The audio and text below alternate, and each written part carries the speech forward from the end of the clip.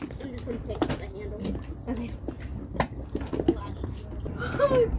I'm gonna be scraping the bottom of the boat, uh, the dinghy, not. Oh, it's cold. I'm considering if I should or shouldn't, but I think you should. I know you do. You're- Oh no, no, there's no more steps.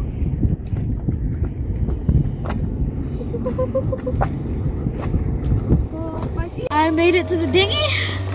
Cold. Finally, after about an hour. It was like 15 minutes. Okay, maybe 30, but An hour. now I have to get my face used to it.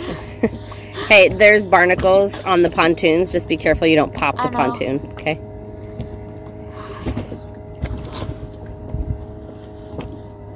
That's where I have to dunk my head under. Okay. The visibility is not too great. That's fine. You only need to see five inches in front of you. I, I can see all, to the bottom still, but not like the best in the world. Getting my head under. Not like the Bahamas. The Bahamas is actually warm. Okay, Three. jump me off, mom. Two, one, go.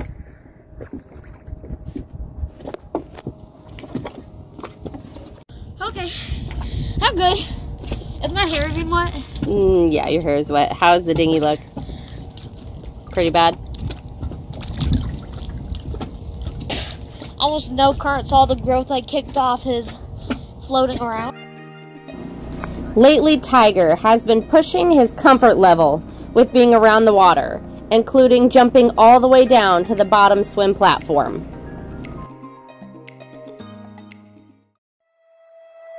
We are a family of five from Texas who sold everything to live full time on our 1987 Marine Trader Tradewinds 47. We have three boys Carter, Chase, and Caleb.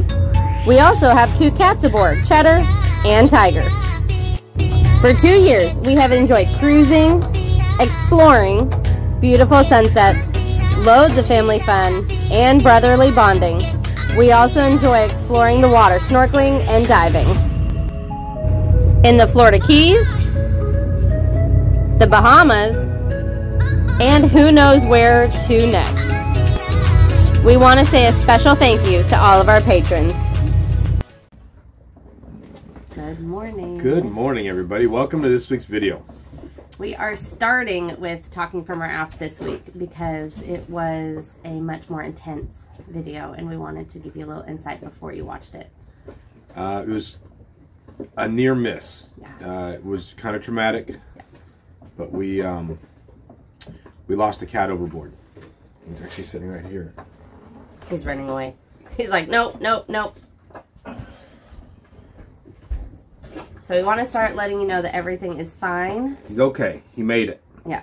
So, um, there's a couple things that we wanted to hit before you comment and berate us over social media. we are. Um, remember, cats are curious. We are cautious with our cats, but cats are just naturally curious. Um, bad things just happen in Yeah. life in general. Um, we love our pets. We treat them well. Part of the family. Yeah. So, uh, little background. Julie and I were in our bedroom. Uh, we're getting ready to go to bed, and our rear hatch, right by our bed, is right on the back by the swim platform, which is right below us, right behind us right now. And actually, funny story about that. Chris and I disagree with the back hatch. I like to sleep with it open, so I can hear the dinghy sloshing around, so I know it's still there. He doesn't like to sleep with it open On on windy nights, it's kind of uh, it's because kind of he annoying. hears it sloshing around. So it was open a little bit. It was like a crack, so we couldn't see up. We could hear it, Right. and we just heard a weird splash. Like we're used to our dinghy splash. We're used to what a boat wake sounds like when it comes by. Yeah. We had kind of a different splash. It was. We both looked at each And other just for like, a second. that's not that's not right. That's not. Not right. And so we yelled up for the kids because we were not in the. Uh, I. Uh, we were naked, and so we ran up to the and yelled at the kids. We're like, "Fine, put your eyes on the cats. yeah. Put your eyes on both cats right now. And uh, so we're hurrying to get dressed, and then the kids are like, we can't find Tiger. So we ran outside and looked and flashlight. And we were searched all over the boat. We probably spent five or six minutes looking. And Tiger has been getting increasingly more and more curious about the water. He'll hop down to the bottom swim platform and he'll just stare at the water. So I knew his curiosity was growing. Um, we found him, as you're going to see in the video. He was floating up on our starboard side uh, towards the front of the boat. Yeah. And we jumped in and pulled him out, and um, Yeah. weren't sure, if, wasn't sure if he was going to make it. Uh, Yeah. when we first saw him in the water, it looked like he was gone. Yeah, it looked like it was just more of a body recovery. So, but we got him on board. He meowed a couple times, and uh, we got him drained out. And it took him. He was flat out exhausted. It took several days of him just relaxing to finally come back. And we watched him real careful because whenever you have a drowning victim, you can still have water in your lungs. You can die from what they call secondary drowning. Yep. Um, you can end up with pneumonia. Yep. So we've been monitoring for all that kind of stuff, and he's he's Yep. doing great. But um, I think what happened is he was standing right here. I don't know if you can see this. Let me tip it down. So we've got the back, the seat right here, and he'll he'll stand up here, and then he'll go down over the side. And over the side, we've got that step right there. This guy right here, and I'm pretty sure he slipped either on that or from jumping there down to the swim platform, which is the next step. One of those he uh, he slipped, I think, because I don't think he jumped in. I don't know. I think he just, it was a little bit of a calm night. So I It was a little know. wavy. It was windy, Yeah. but it, the waves hadn't picked up yet. So I think he just slipped. And it was Um, nine o'clock at night, so it was dark. Yeah, it was all in the dark. The reason we had a lot of trouble finding him is because we were hanging uh, with our the back of our boat, the aft, facing out towards the bay. So we're assuming the current's pulling out, so we're looking out behind us. I think the wind was blowing that way, but the current was actually going the other direction. So, but we just The other thing is that Yeah. he, he, I think he was messing around trying to get up the back, and he couldn't, and so he swam up the side, trying to get on and the then he just got exhausted. Yeah. So Um, it- like I said, very scary. yeah, you'll see it. There's some panic. There's some craziness. Um, Please understand, in the moment your Yeah. brain shuts off, uh, you all you can worry is what you're trying to message you're trying to get across. We screamed at each other, we yelled, we. It, it is what it is. Um, was it perfect? No. Did the cat? We get the cat jo- the job done? Did we get the cat out of the water? Yes, Yeah. we did. Um, so you can save all your comments about panicking and doing man overboard drills and all that because when it actually happens in a scenario like this, it it, it all goes out the window. So. Um, something else I was gonna say. Uh, so we did a lot of things right, wrong, but we did a lot of things right, and yeah, still turned out well. You know, one thing I'll address right now. People are always like, "Why don't you put your cats in a life jacket?" Have you ever put a cat in a life jacket? Do you really know what happens when this when you put a cat in a life jacket? I'll tell you what happens. He lays down, and they don't move. No cat will wear a life jacket and walk around. It does not happen. Maybe one or two, No, but not the majority of cats. We used to have a life jacket. We put it on the cat, and they And were they, just- like, they don't move. So it just it's not functioning. It doesn't function that way. And we were at anchor. We're not even underway. yeah, So there's there's risk in everything you do in your life.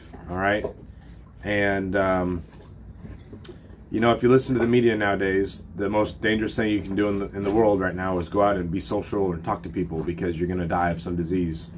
So just kind of keep perspective in mind. Everything in, in life has risk. risk. Um, we live our life. We make our choices. We live with the, the consequences. You do the same thing. I will take my risk-filled life and the adventure and the, the joy and the, the family time over American Dream suburbia locked in a house watching tech and TV. So um, there you have it. Enjoy the video. Yep. Um, have a Thanks great again for watching. Yep. Remember, enjoy the journey, even when it's scary.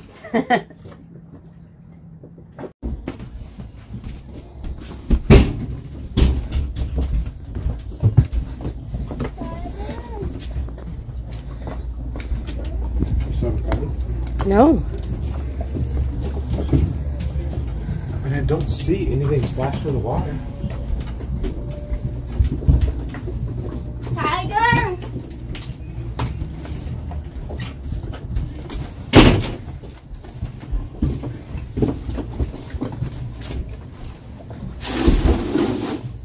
Sure not downstairs. I don't know. It sounded like it's splashing against the dinghy. Yeah, like the dinghy was splashing against the. Look under. I looked under.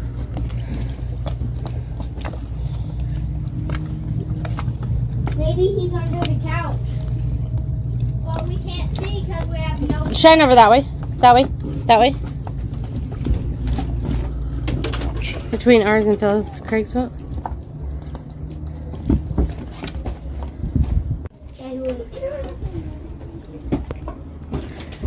We cannot find a cat, and it is dark outside, and Tiger has really started to like going down on the swim platform, and Chris and I heard a huge splash. Now we can't find our cat.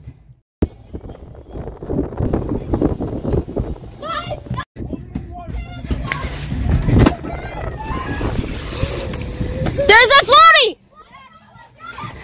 There's a floaty! Get the floaty! Hey, shut up! Get the can't floaty!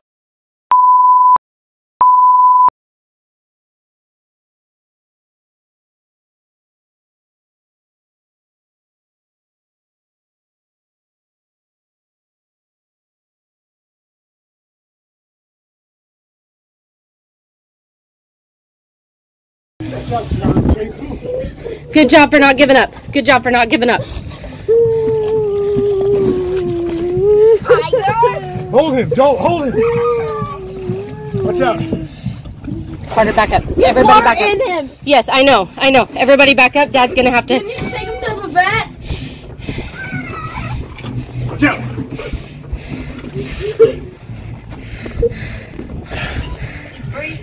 Is he breathing? Hey, there's some towels in that. There's some towels in, in that t- in that thing. Good job.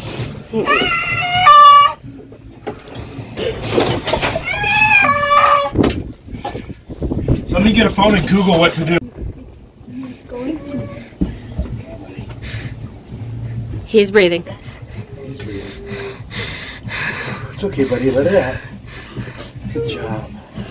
Good job. Okay, get some extra towels and we can towel dry him when he's ready. When he's ready.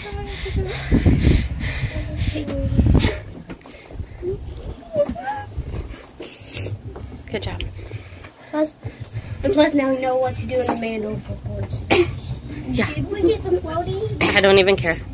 It might have been on the bag. I'll go grab it. I was just. Keep breathing, Tiger. He was not doing so good. He wasn't swimming very good at all. He was just lying there. It's fine. I don't care. Who cares about the floating? We learned our lesson. During the night when watching the movie, we close all the doors keep, and keep the He cats just- inside.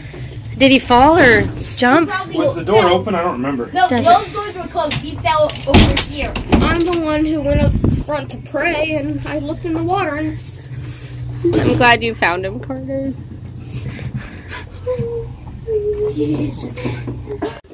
and make sure he's fully okay. Tiger, we love you. He is breathing. He's fighting. He is going to be. Should be holding by his hind legs for a I'm gonna give him another minute to see if he can drain. I think he drained most of it out. His breathing sounds not crackled anymore. It was crackled before with the water in the lungs. He has skin and bones on his legs. Let him puke. Just let him puke. At least he got ap- exercise. Is anything coming out? No, he's fine. Second time a cat has gotten lost on. So, uh, before, uh, at sunset, we should like make sure the cats are either inside or back here by closing all the doors that don't care. I think he has a stuffy nose, or either that or he's breathing really. Carter, pet him. Tell him you love him. Hey, buddy. Going to be over. He's got a little bit of crackle in his lungs. Um, That means he probably has a little bit of water in his lungs. So we'll dry him off really good, and we'll keep a good watch on him all night. Make sure he comes back to normal. How was he swimming? Like, He was, was- his head above the water? He water? wasn't. He just he was laying on He was his back, like Yeah. you know laying those on his animal skins you can find at shops. He was laying like that in the water. I thought it was a piece a seaweed. And then when I saw him, he had tried to roll over and like swim a little, That's but he we was like, started. He, but he was like- He's probably too tired. He's too tired to move, so he just quit. Good, good job. No help and didn't care about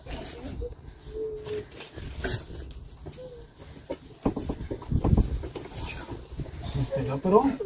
I think he needs to drink like water because he has seawater. Probably. Yeah, I'm gonna get the water bowl. Bring the water bowl. He's probably gonna be dehydrated. Oh, wait, wait, wait. There he goes. Let him throw up. Let him throw up. Yep. Let him keep throwing up. Good boy. Good boy. It's gonna be hard for him to breathe. It's in his nose. Okay, Wipe his nose. Can you wipe his nose? He's not breathing. no, put him back down. Here's the. Let's go sit down and relax. Don't be a stupid cat. Post drowning, about 30 minutes. Been 30 minutes a day. Sorry, Tiger. We're gonna do this for every little while just to. Oh, something. Wipe it off. Caleb, help hold it. Help hold it out. Just take it and wipe his mouth. Let him please. vomit. It's okay. No, it's, nothing's coming out yet. He's just. He's just. Is he breathing still? Yeah, he's still breathing. I just want to make sure the water isn't blocking. No, please don't. You done? Tiger did. Tiger jumped down. He just wants Set you. it off, set it back up. He just wants you.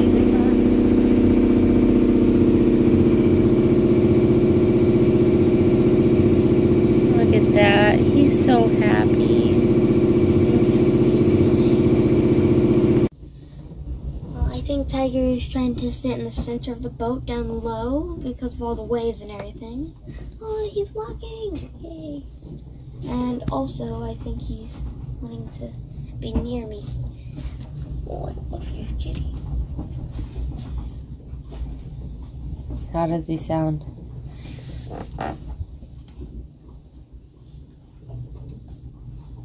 Like normal, but only not no purring too much right now. Come on, Tiger. He needs up? to be lifted up. Let me see. Just lift his paws up to the first. Mm.